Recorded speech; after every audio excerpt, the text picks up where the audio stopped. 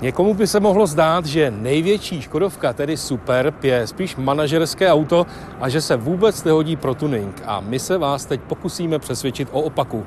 Na samém začátku tohoto příběhu byl úplně obyčejný Superb s motorem 2,5 TDI s výkonem 120 kW, tedy 163 koně a točivým momentem 350 Nm. S tím se majitelka nehodlala spokojit a svého Superba začala přestavovat. Co přišlo na řadu jako první? Tak jako první věc samozřejmě přišel čip, který zvýšil výkon motoru na nějakých zhruba 200 koní a kroutící moment na 420 Nm. Potom eh, dostalo autíčko nový kola a tím, že to byly zatím pouze 19, tak se musel upravit podvozek, který byl zatím takový polosportovní. Pak přišla na řadu větší úprava. Pak to chvilku jezdilo tak, jak to jezdilo a pořád to nebylo auto podle mých představ takže jsem si chvilku tak jako malovala po večerech obrázky a pak se do toho praštilo a přišla velká úprava, kde vlastně auto se kompletně předělalo, eh, dostalo to podvozek úplně de facto dělaný na zakázku, byly tam eh, dávaný tlumiče, upravovaný postupně, vždycky se to zkusilo namontovat na to auto, jezdilo se, když to vyhovovalo, když to nevyhovovalo, předělalo se, přitvrdilo se.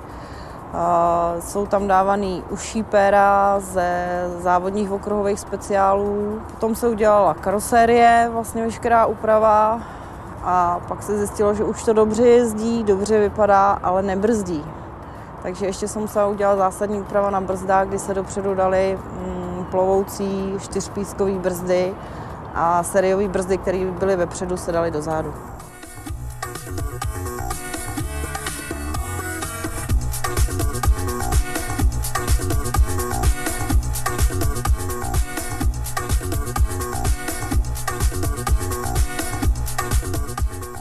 Auto je, tuším, že o 14 cm širší.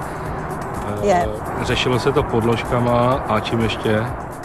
Řešilo se to na každém kole 2,5 podložka. Rozšířený je, vlastně jsou tam přidělávaný plechový blatníky. Proč padla volba právě na Superba? To je takový pro tuning nezrovna obvyklý auto.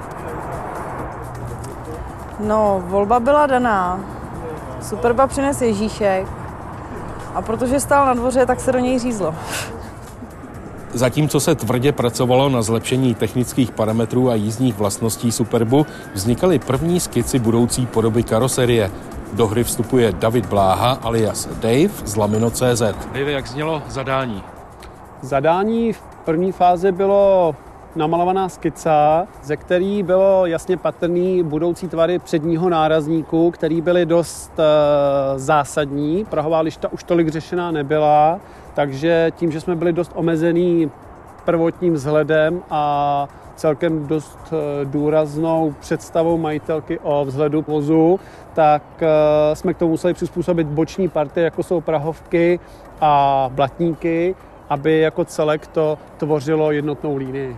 Já jsem koukal a zaujalo mě, že e, blatníky jsou plechový, že nejsou z laminátu. Blatníky jsou plechový, protože majitelka projevila dost důrazně přání, aby blatníky byly vyrobeny z plechu. V té době, kdy se ten super upravoval, ještě nebyla možnost pořídit blatníky na vrakovištích jako dneska, takže co blatník, to ještě jeden nový aby se vlastně využili ty tvary, které jsme vlastně potřebovali a takže se ten blatník doslova do písmene rozřezal na několik kusů a potažmo se zase zpátky svařil.